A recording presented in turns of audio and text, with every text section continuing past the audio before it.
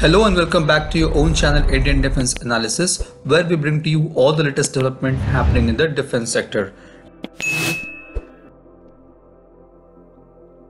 After the visit of French Defense Minister to India, we have heard statement from Sri Rajnath Singh about the engine development under strategic partnership to power India's fifth generation fighter jet AMCA. The engine, which is going to be developed, will have Indian and French technologies. This is expected to drive technology from both Kaveri and M88 engines. Previously, Safran has offered to replace Kaveri engine's core with that of its M88. However, this could not go ahead due to the sharing of critical technology around the core of the engine. However, now the Kaveri's core is pretty stable and has issues with its afterburner section.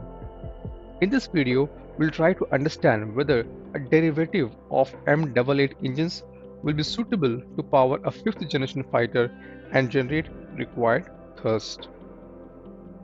The Snecma M88 is a French afterburning turbofan engine developed by Safran Aircraft Engines powering the Dassault Rafale fighter jets.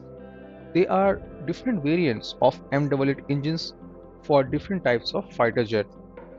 The first one is M88-2 which produces 50 kN of dry thrust and 75 kN with afterburners. Two engines of this variant are currently powering the Rafale fighter jets. Second one is M88-3 which produces 93 kN of thrust with afterburner. It is developed for a single engine light combat aircraft. Third one is M88-4 which is under development. It is the higher thrust variant of M88. Once developed, the M88-4 will be able to produce 95 to 105 kN thrust. As per reports, M88-4 will be developed by 2023. From what it seems, it is highly likely that France will offer M88-4 engines to India as its thrust is close to the requirement of AMCA which is 110 kN or more. The fifth generation fighter jets must have following features in their engine. First, it should be stealthy with low observable signature which can only be achieved through proper distribution of heat signatures, usage of ceramic radar absorbent materials for covering the vanes of the engine. Second, it should be able to generate high thrust without use of afterburner in order to cruise at supersonic speed and sustain it.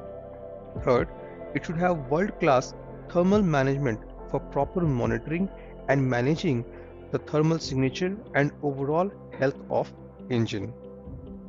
The challenge with French engine is that France does not have a proven fifth generation engine as M88-4 is still under development. Even the F-35s, which are at present the best fifth generation fighter jets, have issues with their engine. The fan blades in the engine are developing cracks due to heat leading to frequent replacements of the blades. French collaboration will definitely help India to develop the fifth generation engine However, the bigger question is can M88 core sustain high thrust requirement of the fifth generation?